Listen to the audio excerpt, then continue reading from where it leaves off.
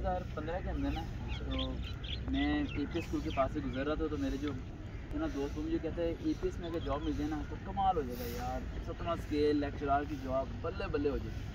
मैंने ठीक है, मैंने अप्लाई किया, कोशिश की बैल पे आ गया अभी जॉब मिल मान लीजिए कह रहा हूँ कि वेरी सेकेंड डे मुझे लगा कि यार मैं काम करता एक सौ बीस कॉपियाँ रोज़ाना की चेक करनी और छः से सात सेक्शन में जाके पीरियड लेने जिस सेक्शन में मैं जाता था, मुझे कभी कभार ये भी नहीं याद रहता था कि इस सेक्शन में मैं सुबह आया भी था, या मेरा पहली बार है। टाइम टेबल के हाथ में रख रहा है, ये जा रहा हूँ।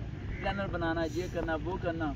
वो ये दिमाग ख़राब हो गया मेरे छः महीने में। छः महीने के बाद उन लोगों ने मुझे बुलाया।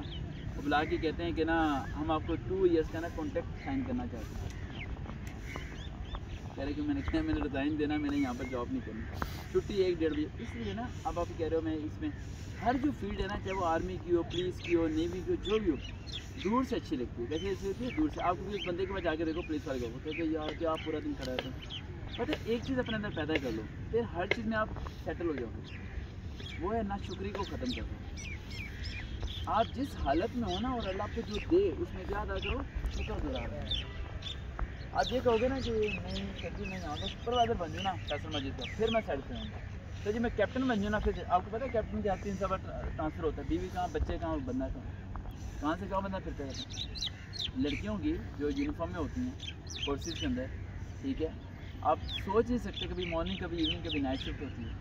क्या हस्बैंड बर्दाश्त करेगा? या वो हर फैमिली उस तरीके से नहीं चल पाती।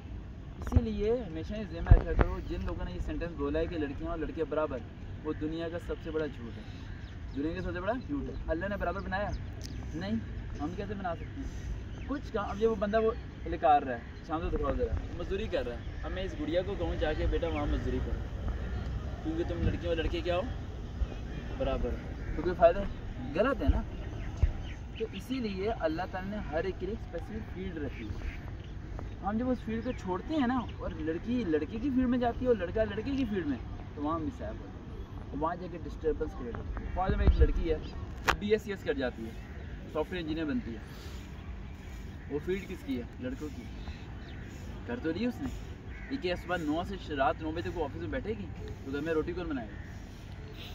इसी तरह अल्लाह ने जिम्मेदारियाँ दी हैं, और मेरे ख्याल से लड़की पे ज़िम्मेदारी लड़की की नस्बत सौ दर्जे ज़्यादा है सौ दर्जे ज़्यादा ज़िम्मेदारी है। घर को देखना उसने, बच्चों को देखना उसने, माँ बाप को देखना उसने, मियाँ को देखना उसने, भाई को देखना उसने खाना पकाना है, कपड़े धोना उसकी इतनी बड़ी ड्यूटी है कि उसे आप घर में अगर ये सारे काम लो ना तो चालीस हज़ार रुपये तनख्वाह दो उसे।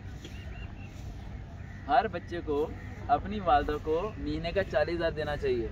अब सुनते हुए आपको बात थोड़ी कड़वी लगेगी। हर बच्चों को अपनी वालदा को महीने का चालीस हज़ार देना चाहिए। जो वो काम कर रही है ना, आप किसी बंदे को ला के रखो। उसे को यार, मैं तुमसे ये सारे काम कराऊँगा, फ्री में कर दोगे? कोई करेगा फ्री में? वो फ्री में करती हैं। कपड़े भी प्रेस करेंगे फ्री में, खाना ही पका के देंगे फ्री में। यार और क्या चाहिए? आप एक बार मेरे को करो कि आप वहाँ अप्लाई करो, जहाँ पर आपको लगता है कि यार आप मुतमिन हो। फॉलो, मैं हूँ। मैं, मैंने पता नहीं कितनी जॉब छोड़ी। मैं मुतमिन किस चीज़ में आया कि अगर ये मुकाम तक पहुँच गया, ये गुड़िया मिलने के बाद, तीन महीने बाद मुझे कॉल करती है कि, सर, मैं आज ट्रेनिंग पे हूँ और थैंक यू सो मच इसकी ज़िंदगी बन गई, इसमें मैं क्या हूँ? मुतमिन हूँ हालाँकि मेरी कोई रिलेटिव नहीं है। आप लोग मेरे कोई रिलेटिव नहीं हो? सारे के सारे यहाँ पर आए गए।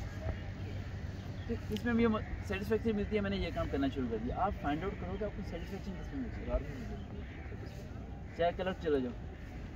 ऑफिसर ना भी जाओ तो चले जाओगे। ठीक है, मैं ऑन दी रिकॉर्ड बोल रहा हूँ, ये बंदा दो हज़ार बाईस में आपको फेसबुक पे नज़र आएगा ऑन क्लर्क होगा। सोल्जर नहीं कहना ऑन क्लर्क होगा पाकिस्तान आर्मी के अंदर। इट्स ऑन दी रिकॉर्ड लेकिन फिर आपने शिकवा नहीं करना सर जी मैं मेरी कहाँ पोस्टिंग कर दी? मैं इस टाइम चीचा बदनी की पहाड़ियों के ऊपर बैठा हुआ हूँ बर्फैली बारी है। तो सर जी बड़ी सिर ठंडी हवाएँ चल रही है मैं क्या करूँ? ये शिकवा नहीं करना आपने मुझे ठीक है? और आपने ये भी शिकवा नहीं करना कि ऑफिसर आके मुझे बातें सुनाते हैं फिर शिकवे ख़त्म हो जाएँगे ठीक है? सर भी रिकमेंड हो गया तो फिर। एज आपकी होनी नहीं है कलर की बी होती नहीं सर इसकी अप्लाई कितनी अभी एस बी होने वाली है सर। मैं दिल तोड़ दूँ? या ना तोड़ूँ। आपका होना मुश्किल है। अब सुनने वाले बड़ी बार बोल देते हैं कि, सर, आप कैसे बातें कर देते हैं? अगले बंदे की उम्मीद है, अल्लाह करा दे, ना करे, अल्लाह कराए, मेरी ख्वाहिश है, अल्लाह कराए। लेकिन आपका होना मुश्किल है। हाँ ये सवाल क्यों? ये मैं ऑन दी रिकॉर्ड नहीं कहना चाहता क्योंकि किसी की बुराई रिकॉर्ड नहीं होनी चाहिए। video